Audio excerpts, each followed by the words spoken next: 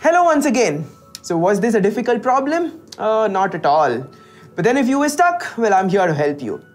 So let's look at what is given to us. We've been asked to find the value of this particular expression here. If you closely observe this, the first term you have cos pi by 8 and the last term you have cos 7 pi by 8.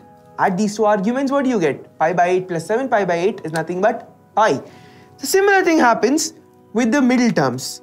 There's a 3 pi by 8 and a 5 pi by 8 and you add them, you again get pi. This is a clear indication that you have to simplify these two terms by using the formula cos of pi minus theta is minus cos theta. So if you use this particular formula, our expression now reduces to this very simple form from which you can further simplify using 1 minus cos square theta is equal to sine square theta formula and finally I have an expression in terms of sine squares. Now I have sine square pi by 8 and sine square 3 pi by 8.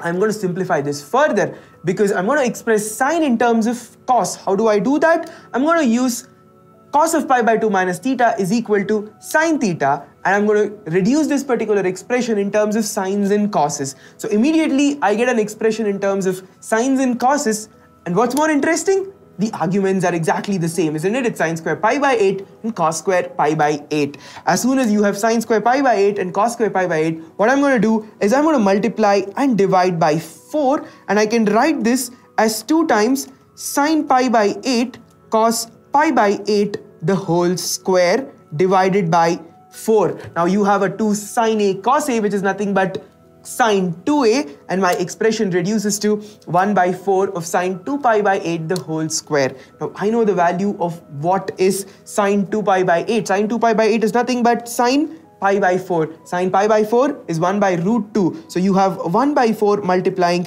1 by root 2 square which is nothing but 1 by 8, which is given an option C. So option C is the right answer to this particular problem. Now, was this a difficult problem? Believe me, if you knew the first trick, which was to convert some of the coses using cos of pi minus theta formula, this problem was as good as solved, wasn't it?